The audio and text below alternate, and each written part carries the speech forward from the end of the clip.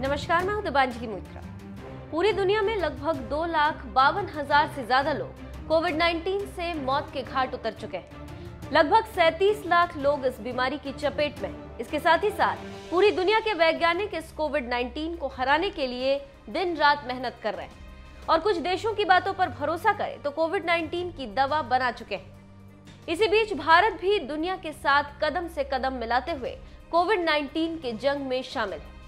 भारत भी कोविड 19 की दवा बनाने के बहुत नज़दीक पहुँच चुका है। कोविड 19 को हराने को लेकर भारत की चार वैक्सीन का रिसर्च आखिरी पड़ाव पर है और भारतीय वैज्ञानिक अब इसको लेकर अंतिम चरण में पहुँच चुके हैं। इस बात का खुलासा तब हुआ जब प्रधानमंत्री मोदी देश भर के एक्सपर्ट के साथ बात कर रहे थे। पीएम मोदी ने कोविड 19 को लेकर जाँच, टेस्टिंग और टास्क फोर्स को लेकर चर्चा की।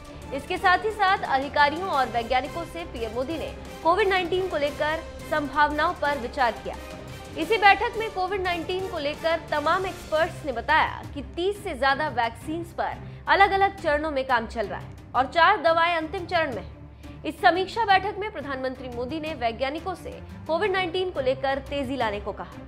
साथ ही साथ ये भी वादा किया कि केंद्र सरकार उन्हें इस दिशा में आगे बढ़ने को हर मदद करेगी। और जो भी ज़रूरी संसाधन है, वो भी उपलब्ध कराए जाएँगे। साथ ही बैठक में मोदी ने वैज्ञानिकों को यह भी सुझाव दिया कि दवा, टीका और जाँच से जुड़े मसलों पर हैकथॉन का आयोजन होना चाहिए। इसके लिए स्टार्टअप कंपनियों को सामने आना चाहिए और देश को इस जंग में आगे बढ़ना चाहिए। कोरोना को हराने के लिए वैक्सीन के विकास में तीन तरह के काम किए जा रहे हैं।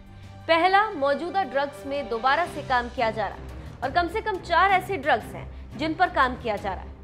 दूसरा कोविड 19 को लेकर नए तरह के ड्रग्स पर काम चल रहा है और इसके साथ ही साथ प्रयोगशाला में जाँच चल रही है। तीसरा, पौधों से कोविड 19 की काट खोजी जा रही है, जिनसे वैक्सीन बनाने में मदद मिल सके और इस काम को लेकर देश भर में शोध चल रहे हैं, जिन्हें जल्द सफल होने की उम्मीद ताकि कोविड 19 को सफलतापूर्वक हराया जा सके। तो आप समझ सकते हैं कि कैसे भारत अब अंतिम दौर में है और कैसे कोविड 19 को हरा रहा है।